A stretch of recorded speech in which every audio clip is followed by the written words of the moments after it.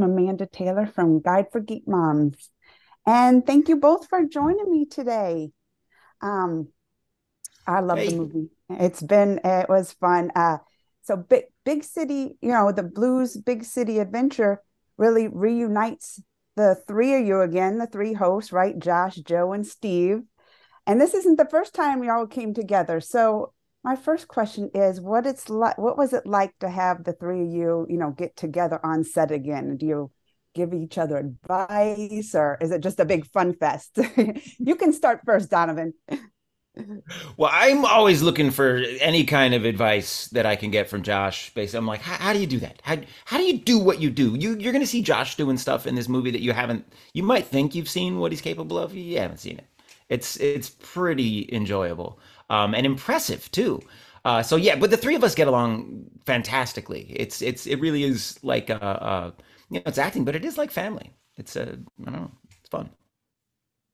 Yeah, it's always like getting back together with family that you love. And uh, it is a fun fest. Every day on set with Steve and Donovan is an easy day for me. It doesn't matter who is carrying uh, the bulk of the dialogue, and thankfully, it's mostly them.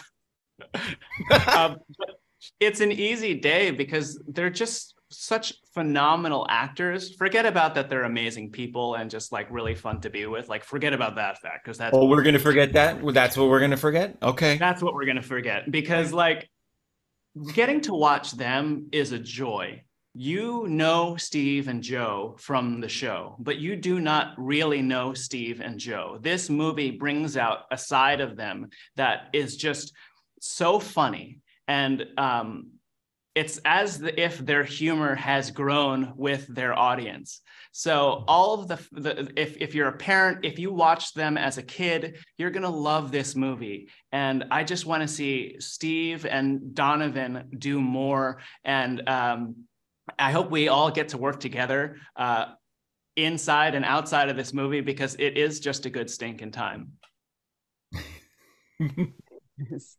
it is. And you kind of almost answered my next question because since I have the two of you here, I kind of would, you know, want to know something that uh, if you can share something about each other, maybe something fun, unique, or special about that the other brought, you know, to the film and their character.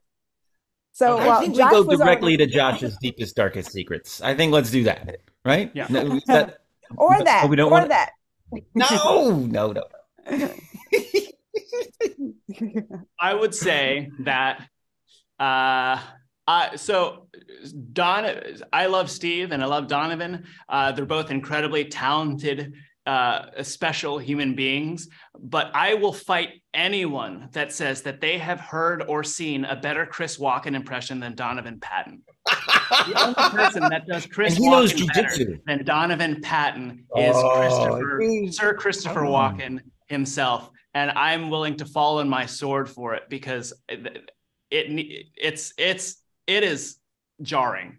Well, now we okay, need to Josh, hear it. We need to hear it. Josh, now, right? he says he's going to fall on his sword. But my question to you is who walks around with a sword these days? It's 2022, Josh. You don't need a sword. You got lawyers, you could use humor to defend yourself if you need. it's fun every that time. Was perfect. And Josh, right. thank you. No, but Josh, like hanging around when you when you hang out on set with Josh, you got to be you got to be right next to him because dude is under the radar hilarious. Like he won't he won't like i'm i'm a little more just like i'll make sure everybody in the whole room is like if i have even like the mildest clever thought i'm like everybody! Uh, but josh is like he he he just like he'll just have all of these things and he'll be like okay and then he'll just like say something. I remember uh, uh, this wasn't part of the movie but it was a new york experience so it sort of applies um, just some of the moments on the float at the Macy's Thanksgiving Day Parade last year. He's like we'd be waving and he's just be like, oh my gosh. And you just like this secondary commentary that's coming from Josh is is so fun. It's uh it's really enjoyable. But it's but it's like but you gotta be there. You gotta be like right there. It's you great. say that because we're not married and you don't have to spend every waking moment with me. If you talk to my wife, she'll be like, Oh yeah, he's funny. Yeah, no, I I make my wife laugh twice a year, and I I'm like it makes my day the whole day. I'll write it in a calendar in pen.